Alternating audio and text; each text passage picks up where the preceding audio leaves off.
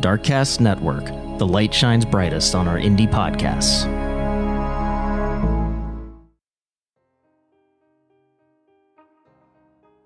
Hello, everyone. I am Kona Gallagher. And I am Ethan Flick. And this is a special update bonus episode of And Then They Were Gone. We're dropping into your feed not on our normal day. We just released a brand new episode, um, but we ha- could not wait. I'm jazzed up. I am jazzed up for justice because we got huge, huge news today. And this has to do with the case that we covered back in September of Akia Eggleston. She was the young pregnant woman in Baltimore who was reported missing in 2017 when she didn't show up for her own baby shower. The investigation into her disappearance left a little bit to be desired, um, but almost five years later, we have an arrest. I'm very curious to get into this. I, I didn't get a chance to actually read the affidavit. Um, I read a, a little bit of it before I had to leave work. So I really want to delve into it because the, the first couple of pages that I read, like, was stuff that we already knew. Yeah, and the probable cause affidavit that he's talking about was released today by the Maryland State's Attorney's Office. Um, Marilyn Mosby uh, from Baltimore was the one who gave the pre- press conference today and talked about this. And it does. It's a seven page document and it does go through um, the timeline of events leading up to and after Akia's disappearance. Now, a lot of this, like you said, is stuff that we covered in our episode. So, this is what we're going to do today. What we're going to do right now is talk a little bit about the arrest that was made and some of the new information that just came out today as a result of this. And then I'm going to put in our original episode after this. So this is going to be an extra long episode because it's our regular full Akia Eggleston episode that will be following this special update. So we're kind of doing a re release on that. I'm excited. Let's get yes. So let's talk about it because this is amazing.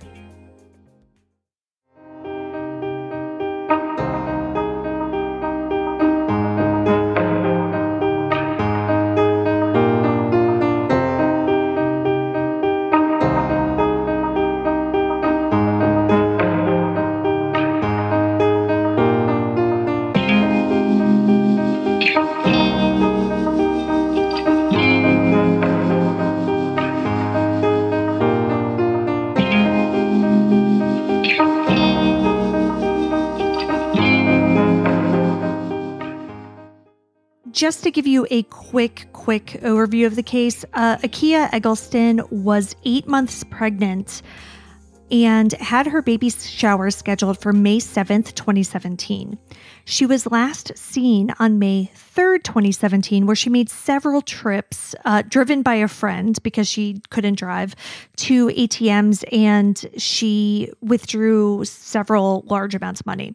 Now, she had also been telling friends that she was going to move in with her baby's father. And so it seemed as though she was getting this money for like a security deposit or some other fees associated with that. But Akia was never seen after that day, and her baby's father was never a part of the search efforts or anything. We never heard a word from him. He wasn't even named. And in fact, his name has actually been misreported. So when you listen to our episode, you'll hear us refer to him as Andre Michael Robinson, because that's everything I read referred to him as that. His name, according to the charging documents, spoiler alert, is Michael Andre Robertson. Oh. Okay. Yes. So anyway, um, he has been charged in Akia's murder and the murder of her unborn child. Right, but we also don't have a body yet. We do not, and we're going to get into that a little bit because this document actually does have a theory about that in it. So it's it's a pretty complete document. There's also a little bit uh, that we need to read between the lines. So let's go ahead and get into it. Akia lived with a female roommate in the Cherry Hill neighborhood of Baltimore. Most of her family lived in Maryland, but in different areas. So they were like an hour or so away. So, you know, they hadn't been to her house lately or anything like that. Akia also had an extremely high risk pregnancy. She was a very, very tiny, tiny lady and uh, was basically bedridden at this time. Right. And at this point, she's already eight months pregnant. Yes. and her C section was scheduled. She was ready to go. On May 7th, when Akia didn't show up for her own baby shower, and her baby's father, Michael, didn't show up because she had also told people that he was going to not only be there, but he was also bringing food. So neither one of them showed up. And her family obviously got concerned. So they ended up going to her apartment not only did they not find Akia, but they saw that like all of her stuff was missing, including furniture, like a dresser, a crib that she had bought for the new baby, all sorts of stuff. But there was also no indication of forced entry or anything like foul play had happened in the apartment. Right. I think the only thing that that that I read that was odd or slightly odd was that they found like gashes in the wall that were triangle yeah. shaped uh, that they were assuming was made by the edge of a dresser that had been moved. Exactly. Yeah, there are several triangle shaped holes in the wall that they did believe came from the dresser. I'm going to be reading a lot from this affidavit, but not all of it because, like you said, a lot of it is covered in our actual episode about this.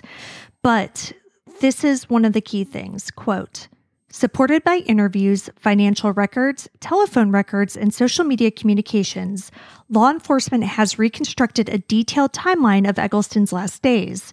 Investigation revealed the only person with the motive, means, and opportunity to murder Eggleston was the purported father of her unborn child, Michael Robertson. End quote. And just real quick, um, because in our episode we do question like why they knew each other because Robertson was actually friends with her stepfather. But it turns out, and this is in the charging document, that they met when his grandmother babysat her as a young child in the 90s. And then they reconnected in mid 2016 after a mutual friend's birthday party. So Robertson at the time was 35 and Akia would have been about 21. Okay. And he was already in a relationship with a woman who, up to this point, has not been publicly named, but her name is in this document. And so I feel comfortable saying that it's Hallie Pomeroy. They she, also said her name at the press conference today. And she had kids with him. Exactly. She was 22 and uh, she had two children with him. She gave birth to her second child with Michael Robertson in August of 2016, which is right around the time that Akia got pregnant with her child. Just to keep the timeline straight, the last day Akia was seen where she made all of those withdrawals was May 3rd, 2017. On May 1st, she messaged a friend on Facebook and said, quote, gotta put a deposit down on the new place, renew my permit, and see what's going on with this car if I decide to get it, end quote. And then the friend was like, What place is this? And she said, quote, It's a place on Mount Street, going to see it tomorrow, see if I like it. If so, I'm giving a deposit. End quote. Then the next day, on May 2nd, Robertson sent Akia photos of this apartment via Facebook Messenger, but the pictures were really like blurry and weird. And he's like, "Oh yeah, these pictures suck. Like I'll send, I'll text you better ones." So on May 2nd, she went and got a money order and, you know, all of this other stuff. And then at 1:41 p.m., she sent a Facebook message to Michael saying, quote, I called you, I got the money order, end quote.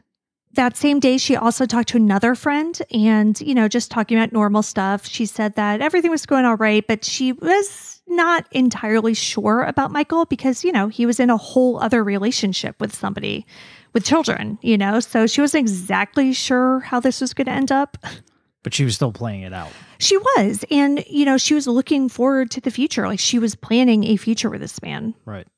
In her mind, he was going to pay for a house for them to live in and he was going to buy them a car. So, like, she thought all of this was happening in the very near future.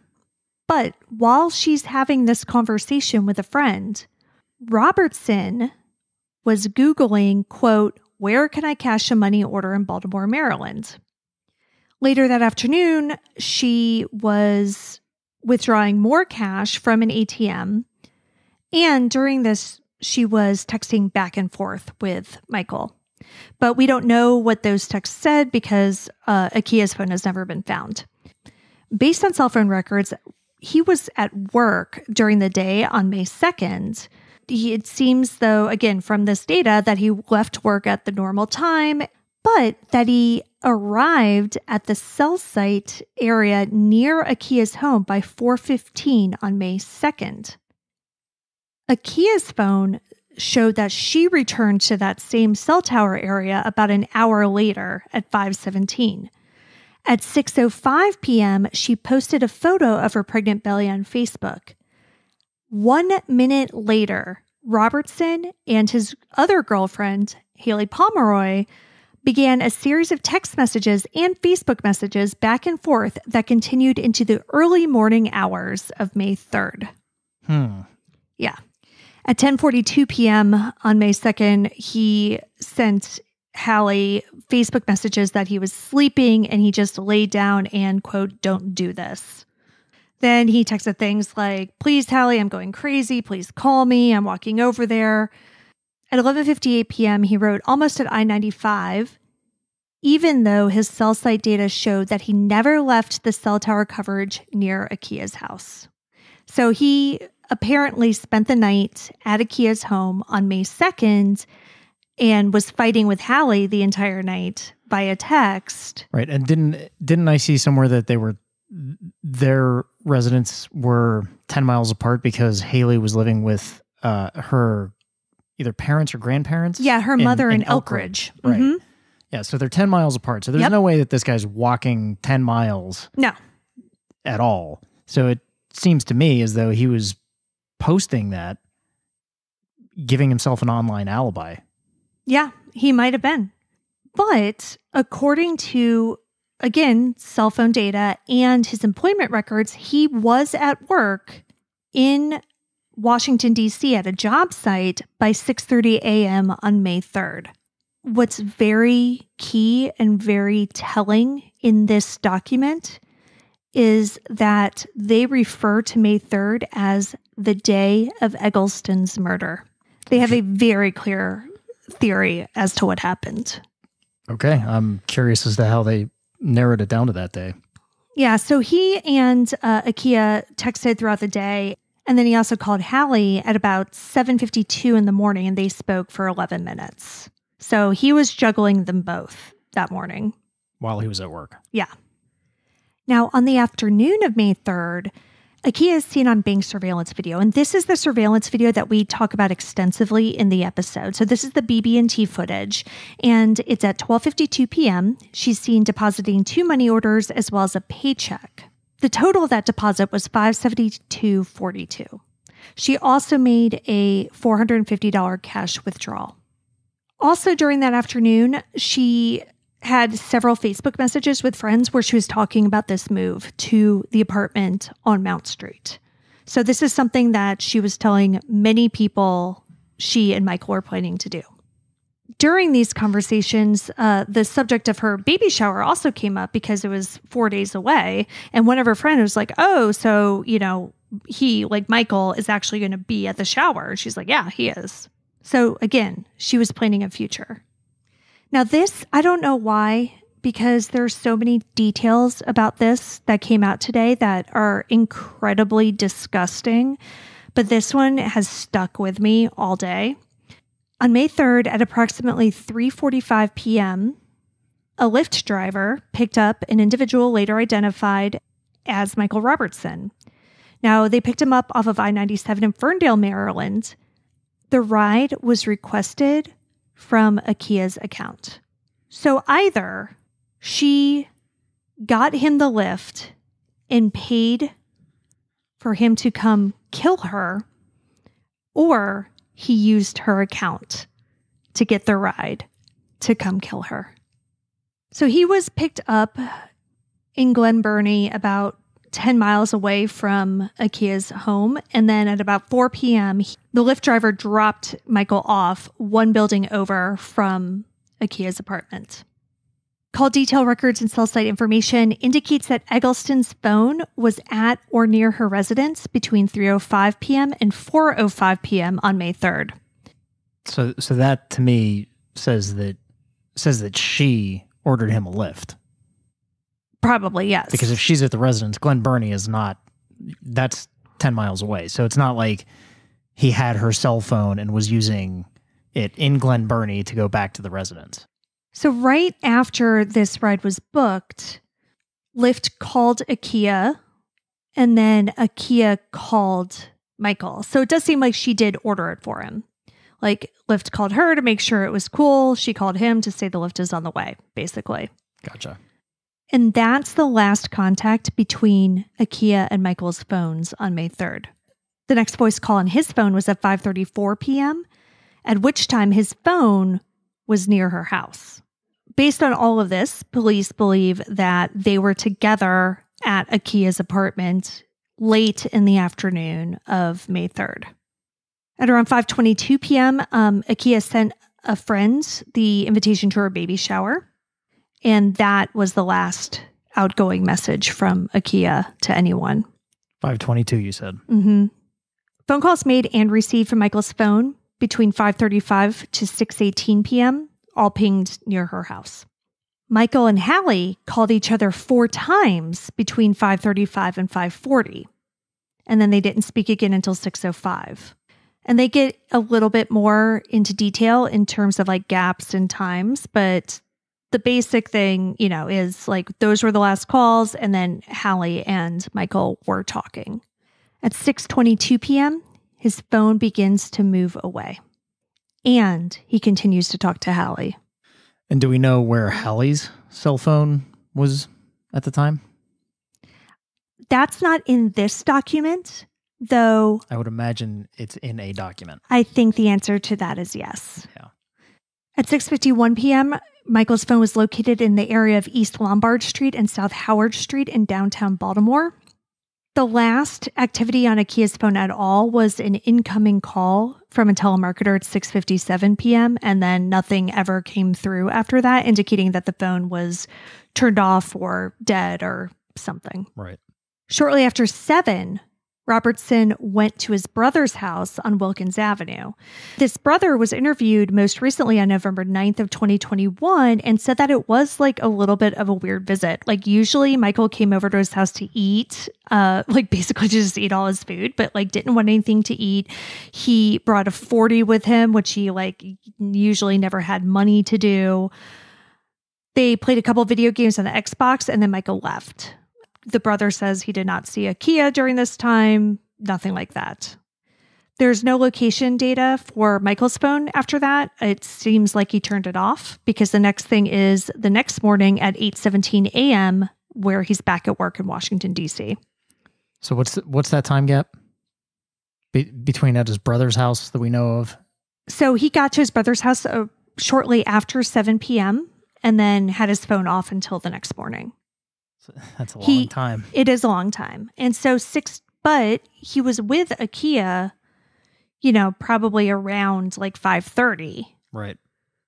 So that's not a lot of time in between her sending out Facebook invitations and him being alone at his brother's house.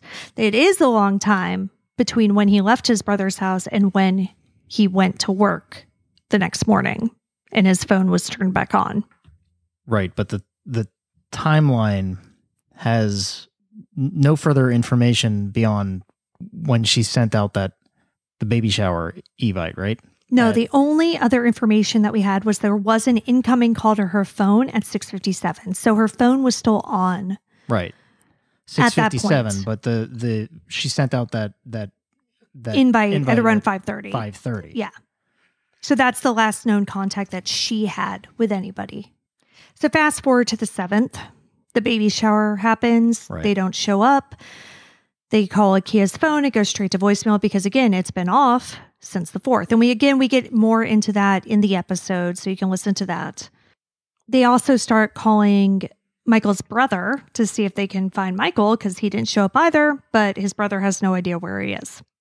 The first time Michael was interviewed was May 9th, where he told police that he last saw Akia on May 1st or May 2nd. And then they're like, okay, well, and they didn't know. I mean, they're like, all right, they took it at face value. They didn't have phone records at that time. So they're like, okay, you saw May 1st, May 2nd, whatever. Then they wanted to re interview him, couldn't find him. They couldn't find him until June 15th, over a month later. So they found him, they interviewed him again, and then they couldn't find him again. And they weren't able to locate him for another interview until October of 2017. He was last interviewed on October 19th, 2017, and within days, he and Hallie moved to Michigan, where Hallie's family lives. Robertson's story to the police was basically that he and Akia had broken up. And that's why he didn't know what was happening or or anything. In his June interview, he said, quote, I was there Monday and when I left and went to work and when I came back, my shit was packed for me. So I took that as the hint. Okay, well, I'll get my shit and roll. I tried and call and talked to her. Now her room was still rented and everything. She didn't answer me. She ain't talked back to me, and that was the last. That when I left that Monday, I came, went upstairs, I knocked on her door, and I said I was about to leave there, and she said, All right. And she closed her door and laid back down and went back to sleep, and that was the last time I saw her. End quote. I'm going to read this next part too um, from the affidavit. It says, quote, Robertson was asked if Eggleston knew he was coming over later that afternoon, despite the fact that he told investigators he was with Eggleston that morning and the several phone calls and text messages between them during the day. Just an aside, because this is June, so they already have the phone records by this point. He said, quote, I talked to her the night before and I let her know. I said, hey, I'm, you know, end quote. Robertson also claimed he called and texted Eggleston when he arrived at her apartment that afternoon and received no response. He stated, quote, her phone was ringing, it was on and everything. It was ringing and I texted, she didn't respond. So I texted her back and I was like, well, okay, I can take a hint. And so I gathered my stuff and I left, end quote. And again, none of this matches up with the cell phone data because he's saying all this was like the first or the second, but they have the last phone call between them being on May 3rd at 3:44 p.m. plus there's the whole Lyft pickup thing. Right. So during this June interview, um, police asked him for his phone number at the time he last saw Eggleston, and he gave them the phone number, but it wasn't right. He just gave them the wrong number. And they also asked him about this apartment. He's like, "What? What apartment? What Mount Street? I have no idea what you're talking about." So then I said he was interviewed on October 19th, 2017. And then this time they confronted him with all the stuff about the apartment, all the Facebook messages, the pictures, everything. And he was like, oh, oh, yeah, yeah, yeah. I guess I did send those. But we didn't go look at it. It didn't go anywhere. She couldn't leave the house. She was on bed rest. How would we have gone and looked at an apartment? By this time, investigators were able to get his internet search history and all of that. So they got into his Google account and they did a reverse image search on the photos that he had sent to Kia, and they were for a totally different apartment. They weren't for an apartment on Mount Street. It was a totally different apartment that was like $3,000 a month, which is not at all what they had been talking about. Right back in this October interview, they asked him again about his phone because they're like, "Hey, remember when we asked you for your phone number and you gave it to us and it was wrong?" And he's like, "Oh, oh, oh, yeah, yeah, yeah. I actually changed my number because I was getting death threats." He said that Akia's relatives had been calling him and accusing him of being responsible for her disappearance. So he was like, "Yeah, I had to change my number because her family was just coming after me." But Again, the phone record showed that he changed his phone number on May 6th, a day before anybody even knew Akia was missing. Mean, this guy's backing himself into a corner, and and th- this is it's it's a good line of questioning by the detectives. It is. It absolutely is. I mean, yeah, they're just giving him the rope and yeah. he's hanging himself. Yeah, exactly. Because they already have the evidence. They do. And so, speaking of a little bit more evidence, the Google account that I mentioned, they reviewed his search history from October 14th, 2017, and it revealed, quote, 18 distinct searches or links clicked regarding trash pickup, landfills, or dumpster pickup in Baltimore City. Specifically, searches were conducted on that day for, quote, where does Baltimore City trash go and picked up? Search twice, quote, Baltimore City dumpster pickup, and, quote, Baltimore City landfill. The searches were conducted a few days after Fox 45 News aired a report on Eggleston's disappearance. End quote. So basically, where Akia lived, her apartment, it was an N unit and it abutted a parking lot that had large dumpsters. Police kind of knew this um, early on and they did search the landfill in Northern Virginia that those dumpsters end up in. But they were searching in like two 10 acre sections. There was over 500,000 tons of waste compacted in those sections, which are filled up to 40 feet deep within a few weeks of her disappearance. Right. Safety regulations only allowed them to dig four feet deep. Right. So they didn't find anything. Yeah, and they can't exactly release cadaver dogs out there. Exactly. I mean, there's way too many smells. And it's too deep. It's Yeah. just too deep. There's just too much. Let's get back to Hallie. Yes, let's. As your dad would say, she's up to her ass in this. Is that, is that something that he says a lot and I just don't notice? Oh, yeah. He says it all the time. Like, usually when he's talking about his state parole days. okay. She told police in an interview on October 4th, 2021, that she and Michael had stayed in a hotel together in Maryland the weekend of the baby shower. She also confirmed getting into a volatile argument with him the night of May 2nd about Akia's sonogram photo that she posted on Facebook. So I think she posted a belly photo and a sonogram photo. Hmm. And that obviously caused a huge fight, which we talked about based on the phone records, where he was just kind of talking, texting with her all night. Right. She was very angry about this baby. Rightfully so. She was well aware of Akia and Michael.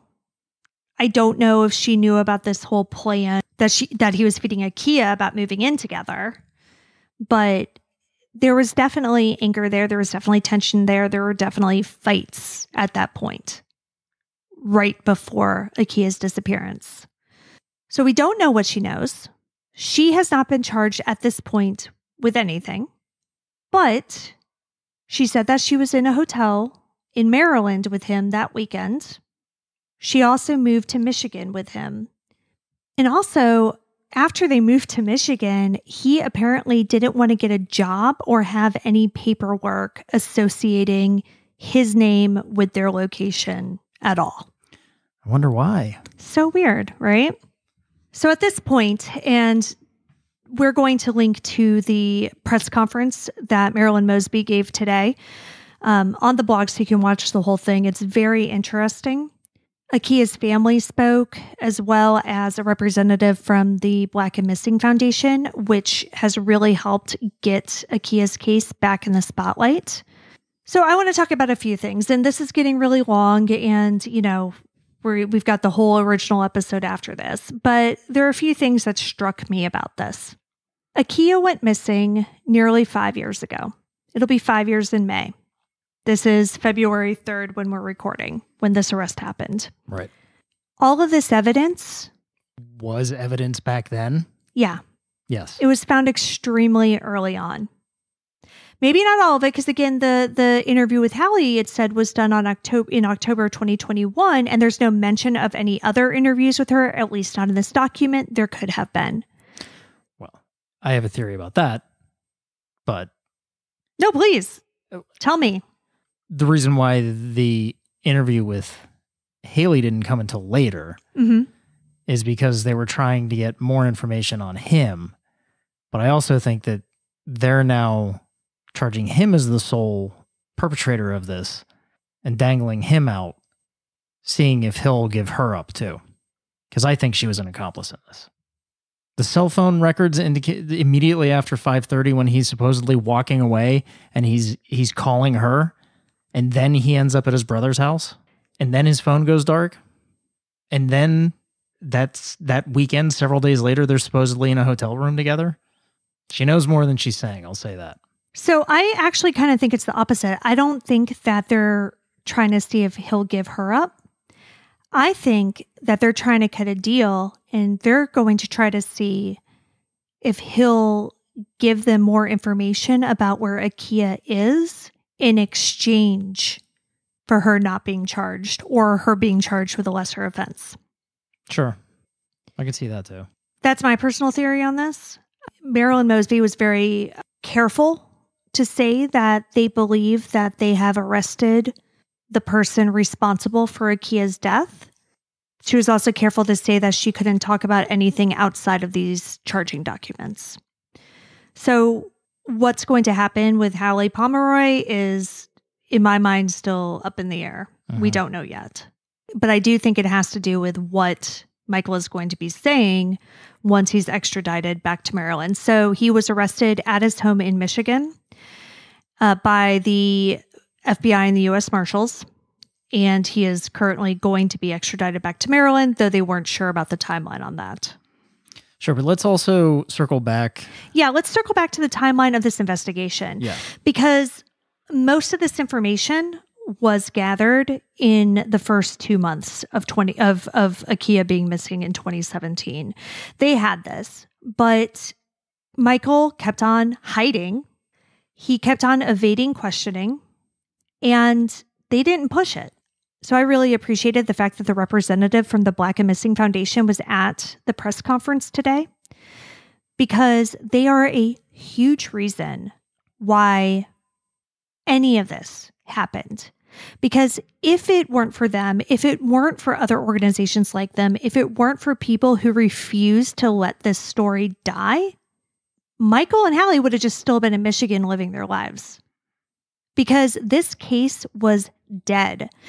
Akia's family said that they couldn't get calls back from detectives. It was dead. But the Black and Missing Foundation kept going.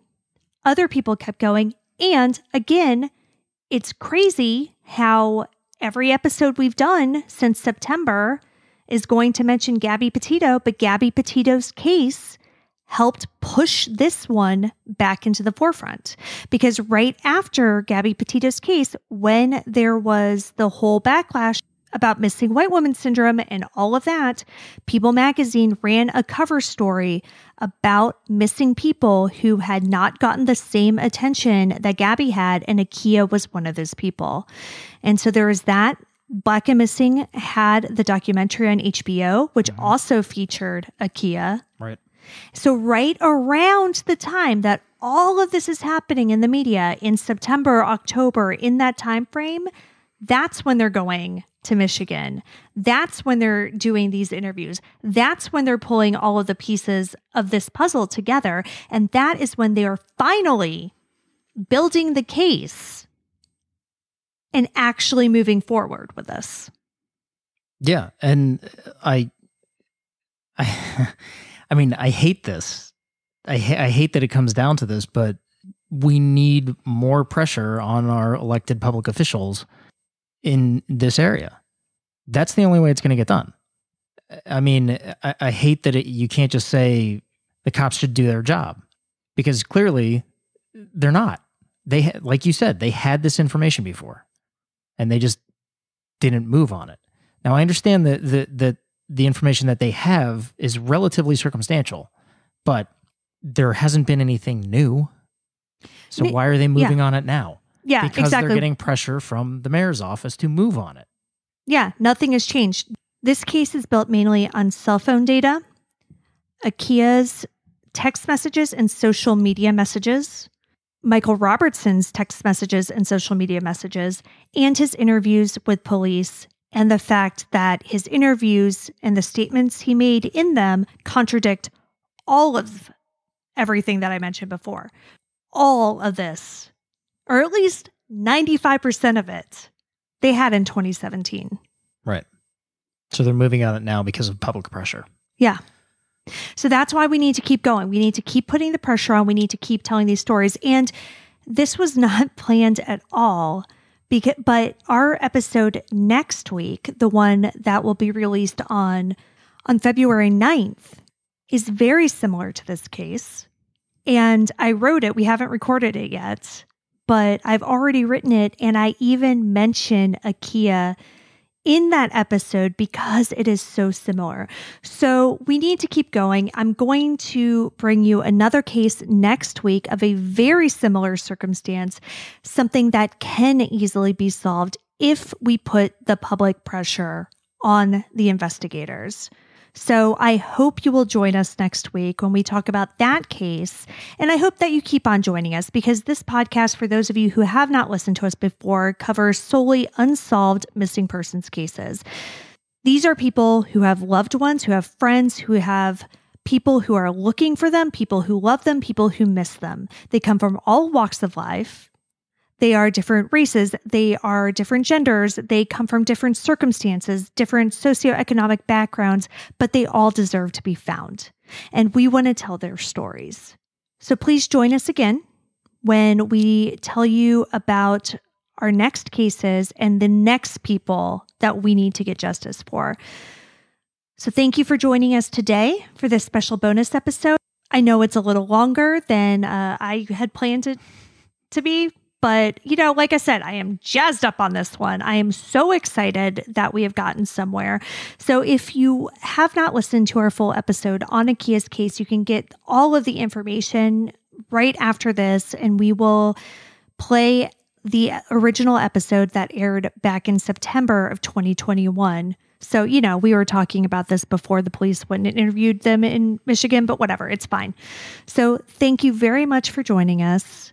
And we will see you here again next week on Wednesday for a brand new episode.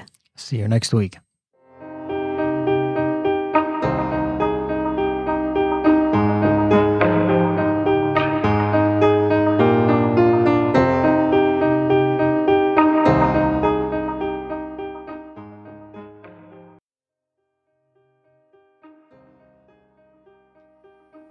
A 22 year old woman is eight months pregnant and is supposed to be on bed rest. Instead, she called a friend and asked her to drive her around to run some errands. On May 3, 2017, Akia Eggleston went to several banks and ATMs and withdrew large sums of money. Then, all activity on her social media stopped. But it wouldn't be until four days later when Akia failed to show up to her own baby shower that her family would realize she was missing. Now, four years later, Akia and her baby are still missing, and Baltimore police don't have any answers. When a person goes missing, there's a special kind of pain in the not knowing. I want to tell the stories of those who never came home. I want to tell you the story of Akia Eggleston. I'm Kona Gallagher, And I'm Ethan Flick. and this is And Then They Were Gone.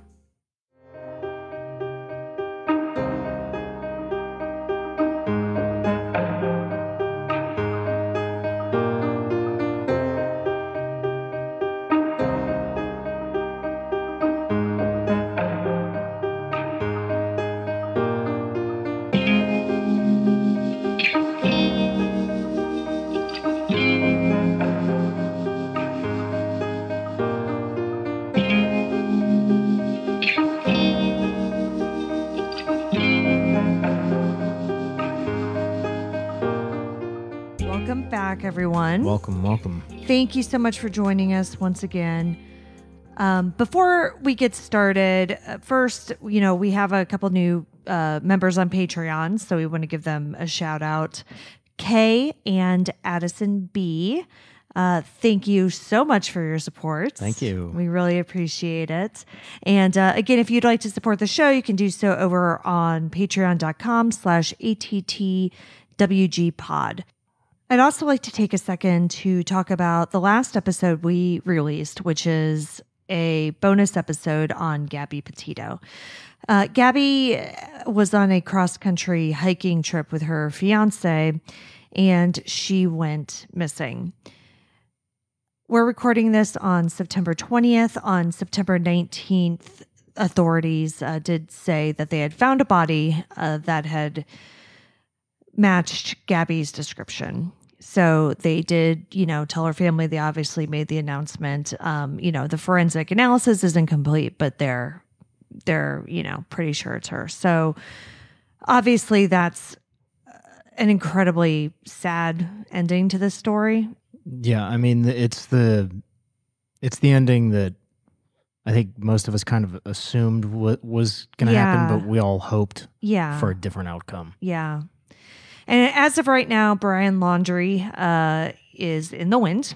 Um, so, you know, it's still important to keep this, you know, on the top of your mind and and and find where he is and hopefully, you know, bring him to authorities safely. Yeah, because he's the one that has the answers. He does. He does. So as much as much as everybody wants some sort of justice for Gabby or vigilante justice Yeah. for Gabby, it's more important to get him in to custody so that he can answer for what happened. Yeah, exactly. So, you know, anybody who is in the area of, well, Brian uh, went missing in Florida. Mhm. Um, from North Port Police Department is the one that's handling his case there. They're doing searches. He really he could be anywhere because he's been missing almost a week. It'll be a week tomorrow. Right. I also wanted to talk about something that's very real that we have touched on, you know, on the show in the past that actually dovetails into this week's case, which is missing white woman syndrome. And a lot of people have been talking about that, you know, with Gabby because there are a lot of folks that they're like, I don't understand why this is, you know, getting so much attention. And yes, missing white woman syndrome is real. Like when you're pretty and you're white, you get more media attention. Like that's been proven over and over again. In, in this particular case, I think it's also that uh, there the circumstances surrounding it were Yeah, so odd. I was You just gonna say it's the it's the unique circumstances of the fact that he just like showed up yeah, at his parents' house without her, and then nobody nobody reported her missing for uh, what eleven days yeah, after that. So I, I think it's it's that definitely plays into it, the missing white woman syndrome. However, I think it's the bizarre circumstances of the case, especially when police went to question him and he immediately had a lawyer. right, right. I mean, I think that's more what it was captivating about this. Yeah, and it's also important to yes, realize that not everybody gets equal amounts of coverage and that's not okay, but that doesn't mean that she didn't deserve coverage, you know, because she was still somebody who was missing and she had fam- a family who was going out of their mind wondering where she was. So, you know, I it, it's important to cover every case. And what the reason why I said that that dovetails into this week's episode is because this is the case of a woman who went missing under very weird circumstances and she was 8 months pregnant and it didn't get a lot of media attention. And a lot of people think that that's because Akia was a black woman living in Baltimore, you know? So I, I, I really wanted to cover this case. And I actually started uh, writing this before um, Gabby's story, you know, was happening. Um, and it was actually inspired by another podcast that I've just started listening to. It's called Black Girl Gone. It's a great podcast. Like I said, just started listening to it, but she covers uh, missing and murdered black women pr- uh, primarily. So she really does cover a lot of cases that aren't covered very widely. And I do think she also has an Akia Eggleston episode. So, yeah, anyway, so that's kind of what inspired this. So let's tell her story. Yeah, let's get into it. Akia Shanta Eggleston was born on September 6th, 1994. She grew up in Maryland and dreamed of being a model and a dancer. Akia was a tiny girl. Now, it's so weird because, like, I read obviously a ton of things about her, and reports vary on her actual height, but they vary between four foot eight and four foot 11. Oh, wow. Yeah, so Uh, like teeny tiny. Yeah, and she was, you know, about a hundred pounds or so. So like just a yeah, a tiny person. So like Simone Biles size. Yeah, yeah, Yeah. exactly. And you know, so I don't know a whole lot about her family life, just that she does have siblings. Um, her mother remarried when she was five to a man named Sean Wilkinson, and Sean raised Akia from that point. Like he, you know, is her stepfather, but he's her dad. In 2012, when Akia was just 17 years old, her mother passed away from breast cancer. Oh no. Yeah. So, I mean, you know, at the end of high school, it was obviously a devastating blow for her, but she buckled down and she finished high school. You know, she graduated. And her dad, Sean, like talked about that, like how it just, she was at such a transitional period in her life already, you know, with getting ready to finish high school and then to have this happen was incredibly, incredibly difficult. But she, you know, she persevered and she got through as best as she could. After high school, she worked in retail. I couldn't get like a whole lot of details um, about, you know, what Akia did. But when she was about 20, she actually gave birth to her first daughter, Emery. Now, she, Love that name. I know, yeah, isn't that nice? I like that too. She and Emery's father didn't stay together, but they were both, you know, involved in their in her life. They were co-parenting. Akia ended up moving to the Cherry Hill neighborhood of Baltimore, but you know, remained close with her stepfather who was in Gaithersburg, Maryland, as well as her aunt and her grandmother who also lived nearby. You know Maryland better than I do. How far is Gaithersburg from Baltimore? Probably like an hour. Maybe. maybe okay, that's what I was kind of thinking. I wasn't sure. Yeah, It, it's pretty far away. yeah, yeah, Yeah. So and so I think that makes sense. So she's they're close enough that like they're still able to function as a support system for her, but not necessarily somebody that you'd mm. see every day. Yeah, I was just gonna say not not necessarily a support system on a on a daily basis. Right, right. And I do believe she also had siblings still in the area. So, like, her family still lived in Maryland. Like, they were around. But again, her moving to that Cherry Hill neighborhood, it sounds like did put, you know, a bit more physical distance between all of them. And I I know you you brought up uh, the stepfather, but where what happened with her biological father? Do we know anything about him? No.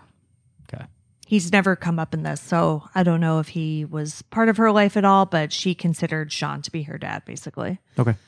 Though Akia had people she could turn to, she also kept a lot of her life private.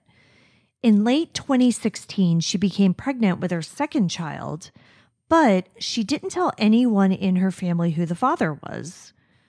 Akia's grandfather, Eric Wilson, told Crime Watch Daily, quote, She never discussed with us who the baby's father was. I didn't ask, end quote while she was close with her family, like she was living her own life, you know, as a 22 year old mother. She had this townhome in Baltimore that she shared with the roommate, and the roommate also had a small child. So when Akia would have Emery over, like there was this other little kid there to play with. So it, you know, it seems like a pretty good setup. Yeah, sounds ideal. Yeah. And I don't know the exact custody details, like who had Emery what percentage of the time, uh, but it sounds like it sounds like they split custody. Um, and I do know that like Akia's family would help watch Emery too sometimes. So it just seems like they kind of made it work, however they needed to make it work, you know? Mm-hmm. As Akia's due date grew nearer, her health problems grew. Her baby was breached and, like, honestly, half her size already. I mean, she, like, pictures of her shortly before she went missing, like, her, belly is like her entire body. Yeah, well, right, because when you're that small, yeah. Like, that baby did not have anywhere to go. So the baby was breached and she and her doctor had already scheduled a C section for the end of May. Akia's doctor had also put her on bed rest, but according to her family, she wasn't very good at listening and staying off of her feet. Maybe it's because she was like four eight or whatever, but Akia was a spitfire and just like full of energy and couldn't stay still. She was also very social and took it upon herself to plan her own baby shower. like she knew what she wanted. And so she was like, I'm just going to get this done. th- go for it. You know, Like, yeah. Like she had relatives and friends, you know, helping out, um, like setting up and, you know, stuff like that. But she's the one who took the initiative and booked the venue and even put down a $900 deposit. Wow. Yeah. The baby shower is also going to be a gender reveal. So Oh. she was like, she was She's going, going all out. Oh, yeah, absolutely. Akia had been in regular contact with her friends and family who were helping her put on this baby shower, and she was a big social media user. Her Facebook page is still up, and a lot of her posts are public. And she was usually posting daily and sometimes multiple times a day. And I can only imagine that as she became more pregnant and like just simply walking became difficult for her, that she probably spent a lot of time scrolling through social media. yeah. You know? Well, yeah. I mean, if she was ordered on bed rest, like she's probably bored out of her skull. Yeah. And her You friend was saying like she really was like she could barely walk, like at that point. Because she was ostensibly on bed rest, I don't believe she was working at this time, you know, toward the end of her pregnancy. Yeah. Uh, I'm not sure where her income was coming from, though. I've read that she had worked in retail, like I mentioned, but I don't know, like, when she had to stop doing that because of the pregnancy. I also read that she may have gotten some money when her mother passed away, but it sounds like that may have been more like life insurance than an inheritance. So I don't know that she still had any money from that or if that all just went to, you know, funeral expenses and things like that. Right. But I bring this up because money comes into play in this story. As I mentioned before, Akia put down a $900 deposit on the venue for her baby shower. And that's not an insignificant amount of money, especially to a 22 year old single mother. I mean, look, I wouldn't want to spend nine hundred dollars on a baby shower, and you know, we're in totally different Well, circumstances. no, and also keep this is a deposit, so you know, presumably she would be getting that back, I guess, or at least part of it. I don't really know how it worked, but like I was a 30 year old single mother and I would have been hard pressed to come up with $900 just in general. well, yeah, that's what I mean. Like, Yeah. I, I wouldn't spend nine hundred dollars on a on a on a baby shower. Well, regardless of what it's for, I would have just had a hard time getting $900 period. But, you know, like maybe Akia was just better with money than I was. Like, I, I don't know. Uh, you and I are both terrible with money, so Yeah. it's, that's not outside of the realm of possibilities. So, Akia's baby shower was going to be on May 7th. On May 3rd, her grandmother tried calling her a bunch of times, but she didn't answer. So she texted her and was like, Is your phone dead? Uh, and Akia texted back and said that no, it wasn't dead, but she couldn't talk. Now, Akia's grandmother, looking back, doesn't think that that was her. She thinks that somebody had her granddaughter's phone. okay, so when when was that? You said May May 3rd. May third. Yeah, four days before the baby shower. And when did her friend take her? May 3rd. And that was the last time anybody actually saw her. Yes. Okay. So it's May 7th, the day of the baby shower. Akia's friend, Cece Diaz, was one of the people who had helped set up for the party. So Akia's family is there, her friends are there, the food is there, like the decorations are up, but there's no Akia. So everyone waits around and then they start calling and texting, of course, but the calls go straight to voicemail. Although this does seem alarming, no one is insanely worried at this point because like they're concerned but they think that the most likely scenario is that she went into labor and doesn't have her phone with her Yeah, I mean that makes sense. well exactly because she was like real pregnant you know mm-hmm. and this was a high risk pregnancy so that especially makes sense if we're talking like an emergency c-section or something like that she's not going to have her phone in the OR. So they started calling around to hospitals because that's the thing. They don't know where she was. Like, was she at home? Was she on her way to where the party was? Was she somewhere else? So they are just kind of calling to all of the hospitals in the area to see if she came in to have the baby. But that turned up nothing. So eventually, a group of them went to Akia's house. And that's when they realize that something insane has happened. Not only is Akia not home, but neither is her stuff. All of her personal possessions are gone. All of her daughter's stuff is gone too. At this point, friends and family really don't know what to think. Do we know where Emery is? Yeah, so Emery wasn't with her at that at the time. So Emery, I don't know where she was, but Emery is wherever she was supposed to be that day, whether it was with her father or with Akia's aunt or, or something like that. Okay. Yeah. And and where's the roommate with her small child? Well, yeah. So I don't know if the roommate was home at that point.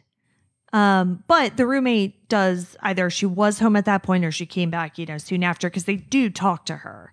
Yeah. So, but they're all kind of over at this house, like incredibly confused because it's not like she just packed a few bags and left. Like large items are missing, like a crib is gone. And again, Akia could barely walk at this point, so she wasn't moving a crib on her own. And you know, everybody's standing there, like all of her family and friends who are invited to this baby shower, presumably, you know, the same people who she would ask for help if she needed to move. They're all standing look they're looking at each other going like, "I didn't help her, did you? Did you know about this?" And nobody did. Plus, she didn't even own a car. So like how would she have moved any of this stuff? So, unsurprisingly, this is when they call the police. Yeah. I mean, like this this is screaming something I mean something bigger than just an abduction. Yeah, well, you would think, but uh, the Baltimore PD was not extremely interested. because she was an adult. I mean, I guess because according to Cece Diaz, that friend, they waited at the apartment for hours and no one showed up. Hmm. So they went down to the police station, but they still didn't have much luck. Cece told reporter Claudia Rivero that police said, quote, maybe she's depressed. Maybe she just ran away, end quote. Yes, a bedridden 8.5 month pregnant woman with no car and a big planned party you know, though that always happens. It's that old story of you plan a big party, you put down a nine hundred dollar deposit, you don't own a car, you're on bed rest, and you pick that time to just start a new life. We've all heard that one. But like what I don't understand, I mean, again, she's clearly in a medically fragile Yeah, that situation. And typically that's what does get police to actually pay attention. Right. Yeah. That I mean, you know, sarcasm aside, she's medically endangered. Yeah. Like that should elevate her to critical missing because of her, health concerns. So when the police are like, maybe she ran away, I mean, Cece is like, okay, well, this is extremely stupid. And, uh, you know, she went on to tell that reporter, quote, we know her condition and that girl could barely walk, end quote. But the point is, despite Akia's fragile medical condition, BPD did not initially take this case seriously. And unfortunately, I don't know how much time was lost with all this nonsense but eventually they finally did get on the case for real. So at some point, and again, I've never been able to find like a solid timeline of when the investigation actually started. Mm-hmm. But when it did, they, you know, did their own search of the apartments and started interviewing people. And of course, one of the first people that they talked to was the roommate I would hope so. right? And so they're like, hey, what's up with all this like emptiness? What's going on? And the roommate said, oh, yeah, she was moving out. According to detectives, the roommate showed them several text messages between her and Akia that talked about how Akia was going to move out and live with her baby's father. She was supposed to be gone by May 10th. And do we know when these this text message exchange occurred? No, that has not been public. And what's really frustrating is that's they haven't made anything else about this public, meaning like we don't know if the baby's father ever came over to the apartment, you know, mm-hmm. like if the roommate had met him before. We don't know if he ever helped Akia move, you know, some of those belongings out or if the roommate was even home when any of that happened, if she even saw any of the stuff being moved. Like, we just don't know. I mean, for all we know, she just came home one day and all of Akia's things were gone. Like, no idea. Yeah. I, I'd be curious as to when the those text messages Yeah, like if they started on May 3rd. On the 3rd, right. Yeah, Yeah. exactly. And I don't know. I mean, again, I'm assuming the police know the answers to all this. I'm hoping, but I just, I don't know. Once they start investigating this as an actual missing persons case, the police start to put together a timeline. Akia stopped posting on her Facebook page on April 28th. Her grandmother said she was texting with her on May 3rd, but again, she's not convinced that was actually her. But police eventually find proof that Akia was alive and well on May 3rd.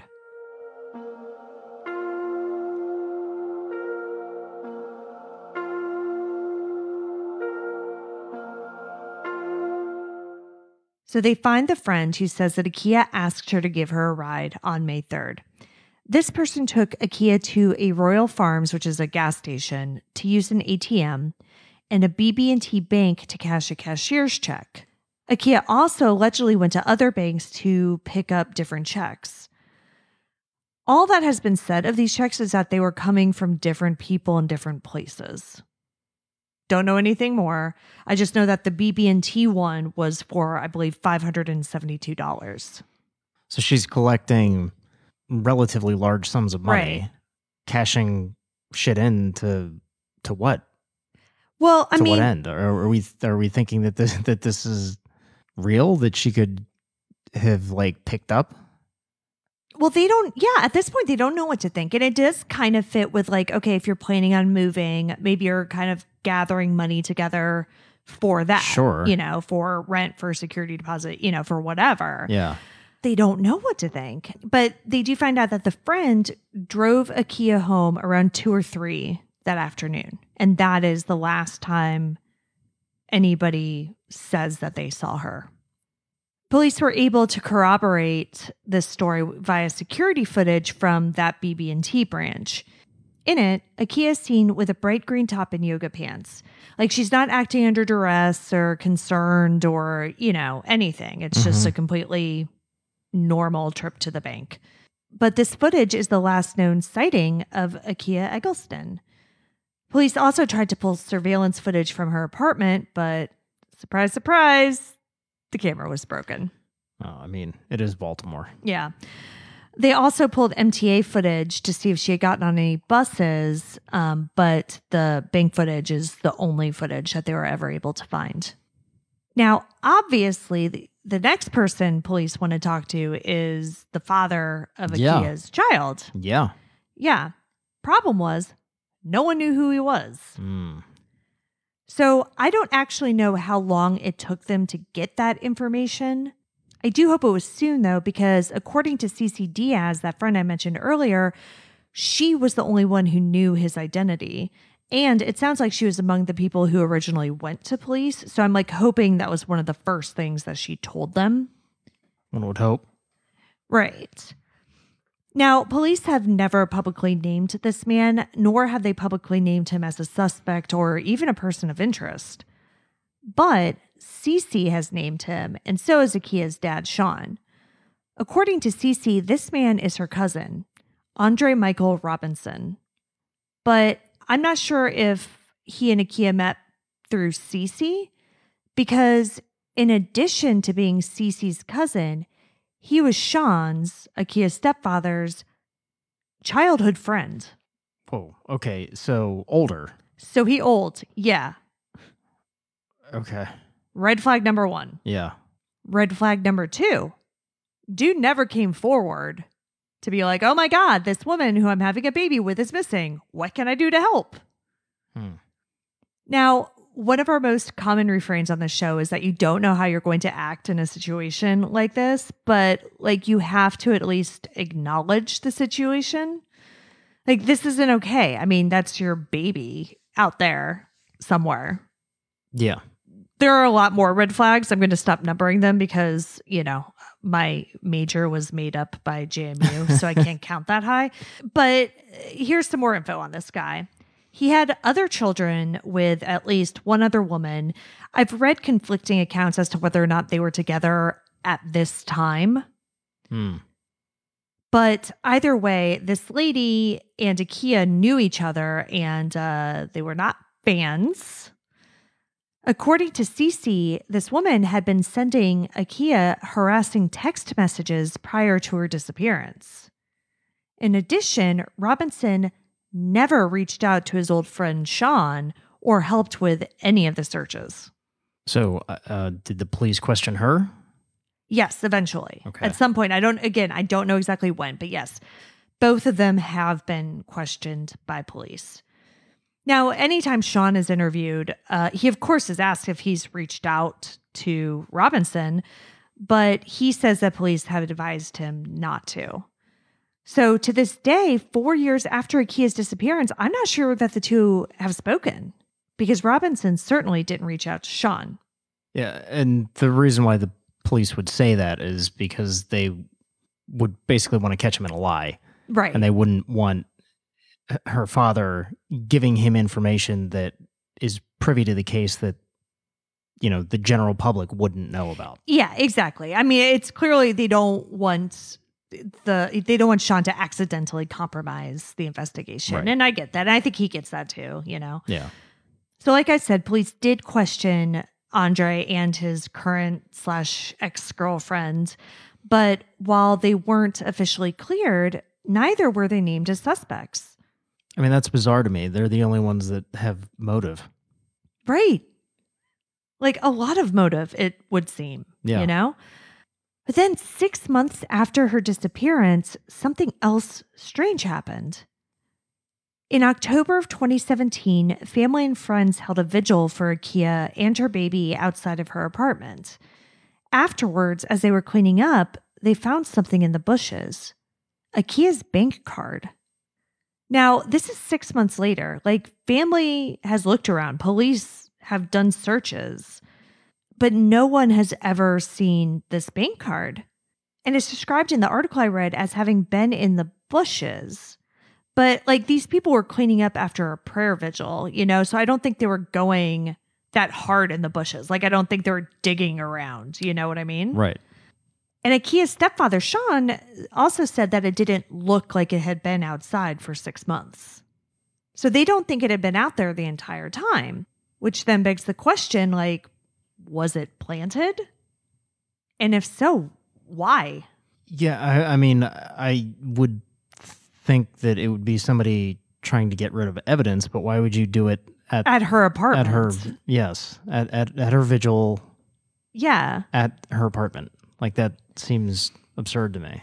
I know. It's just such, I just don't understand either how it could have been missed for six months or why somebody would have planted it. Like nothing makes sense about it. So did they turn it over to the police? Yes, yes, they Was did. it fingerprinted? yeah, I, I assume so. Police haven't specifically said that, but yes, police do have it and just wouldn't say anything more about it, basically. Did they get a list of people that were at the block party? I mean, you know, I, I know none of this is going to be put out there, but that's just where my head is. Yeah. Yeah, I I don't know. The last time Akia's cell phone pinged was in the Inner Harbor area near one of the banks that she visited.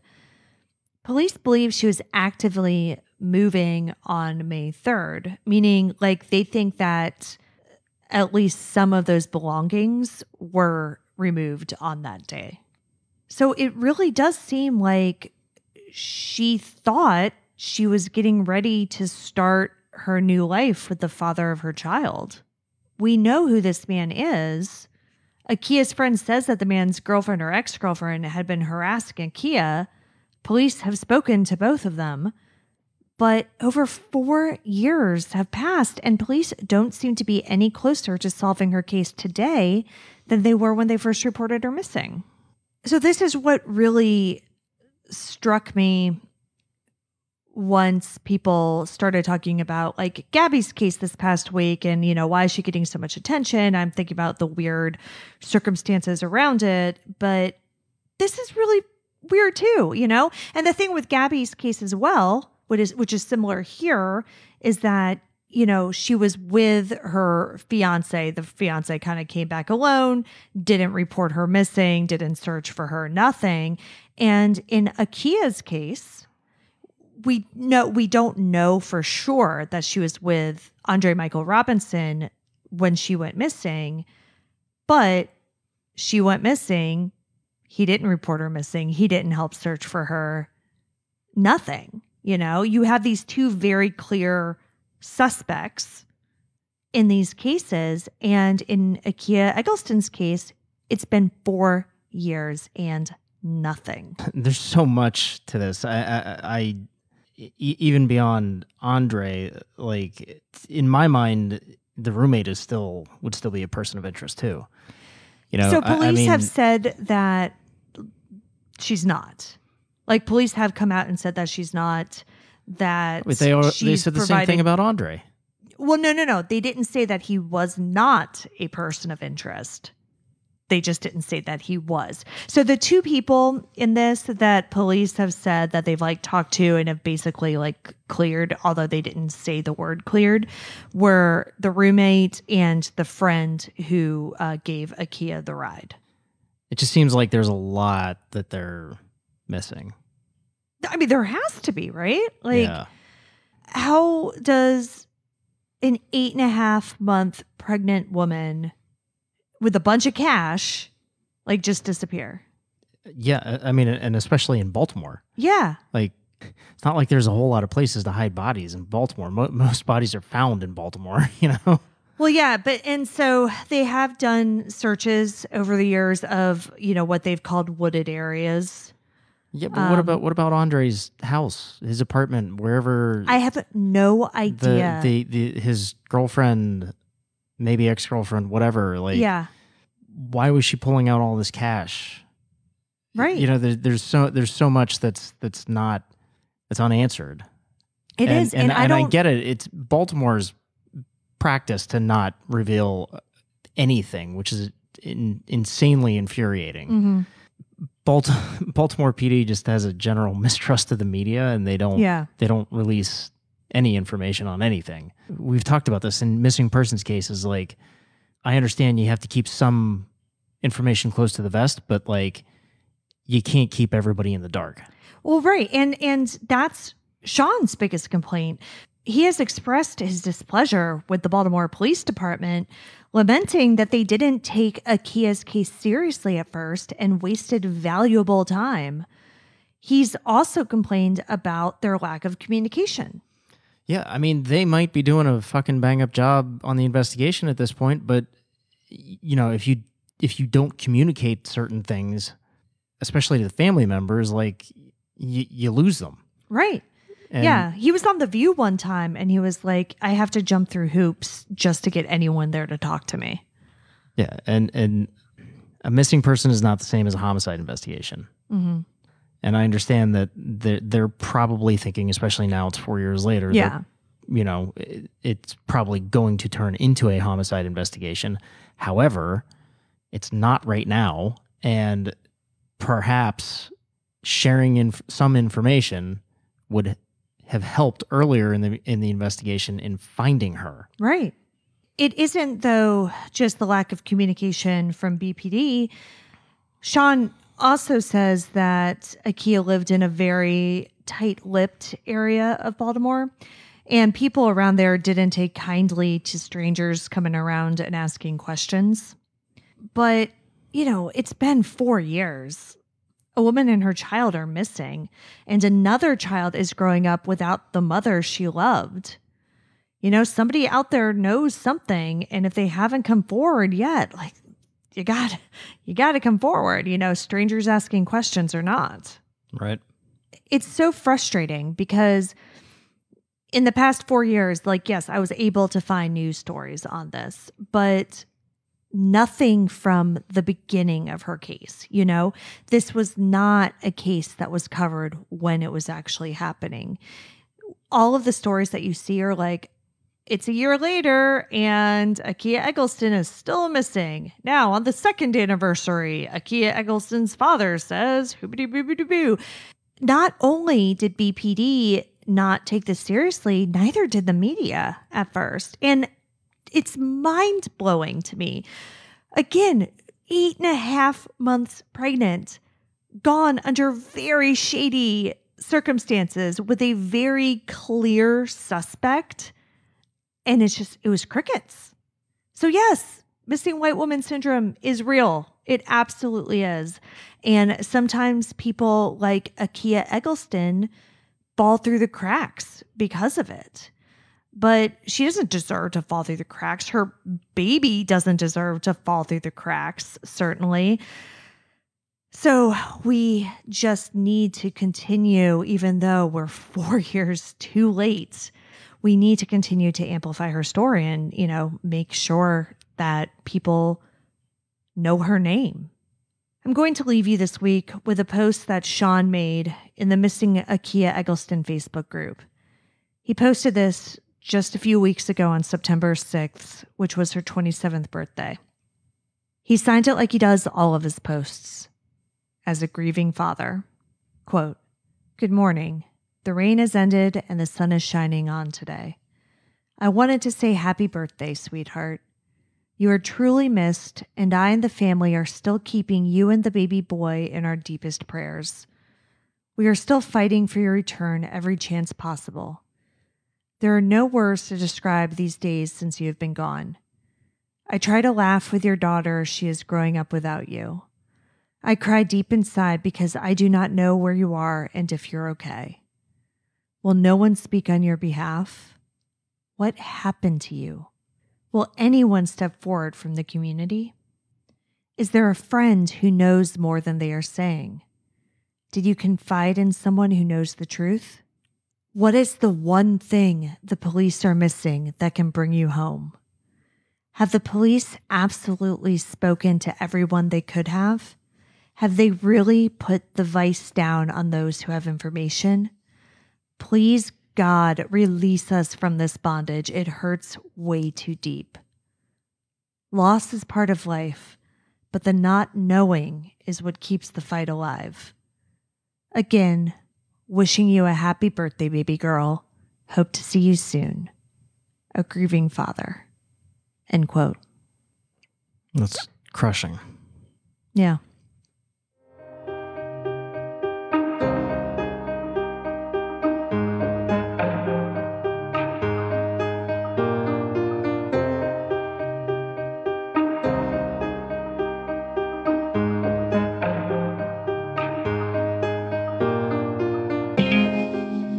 Akia Shanta Eggleston has been missing since May 3rd, 2017. She was between 4 foot 8 and 4 foot 11 and was wearing a green t-shirt and black yoga pants at the time of her disappearance.